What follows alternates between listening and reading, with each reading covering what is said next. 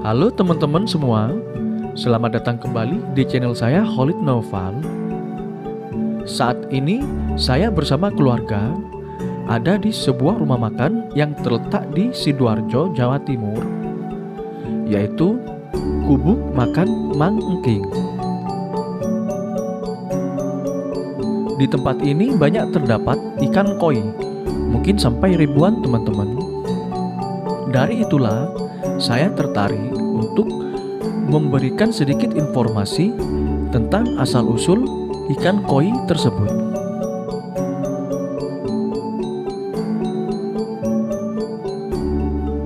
Oke teman-teman semua, saksikan terus video ini sampai selesai agar informasi yang didapat teman-teman tidak terputus.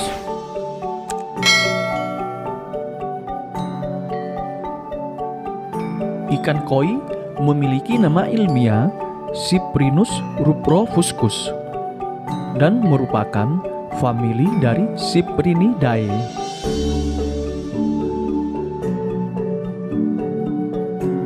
Koi merupakan bahasa Jepang atau secara spesifiknya koi berasal dari bahasa Jepang yang berarti ikan karper.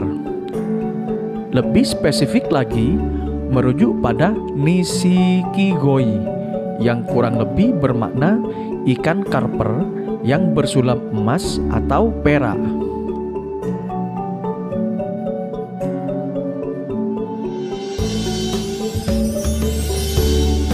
Nishikigoi berasal dari kata nishiki yang secara tradisional berarti benda yang indah atau anggun.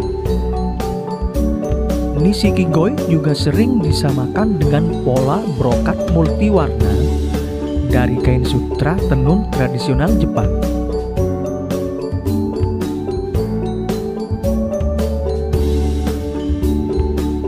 Sedangkan kata goi atau koi adalah apa yang orang Jepang sebut sebagai ikan mas yang dimaksudkan untuk dimakan.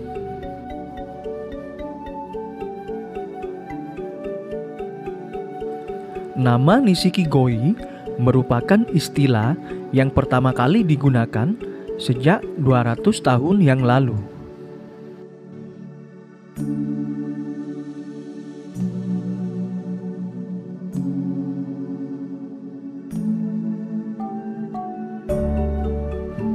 Yaitu pada sebuah desa dari prefektur Niigata di Jepang.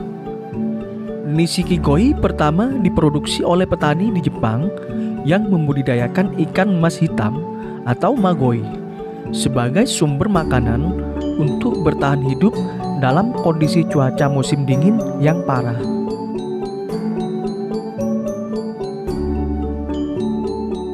Jadi, dari mana asal koi merah seperti itu? Sebelum kita lanjut pembahasan ini, bagi teman-teman yang belum subscribe channel ini, silahkan tekan tombol subscribe dan bunyikan lonceng notifikasinya agar teman-teman selalu update apabila ada video terbaru di channel ini. Ikan koi merah sebenarnya dihasilkan oleh mutasi alam dan kemudian secara bertahap diseleksi dan dikembangbiakkan. Berasal dari desa Yamakoshi dari kota Ojia, keturunan Nishikigoi pertama dari ikan mas magoi menampakkan warna merah dan kuning beserta polanya.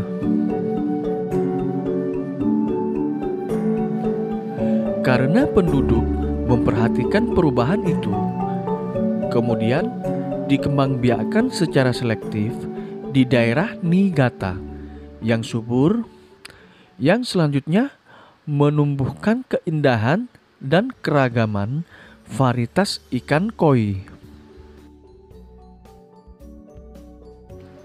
Setelah melalui beberapa percobaan, koi Jepang menjadi terkenal di dunia sekarang, teman-teman, dan juga disebut sebagai permata hidup.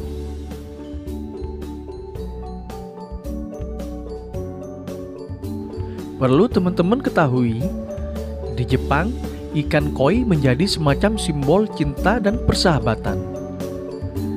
Ini karena koi merupakan homofon untuk kata lain yang juga bermakna kasih sayang atau cinta.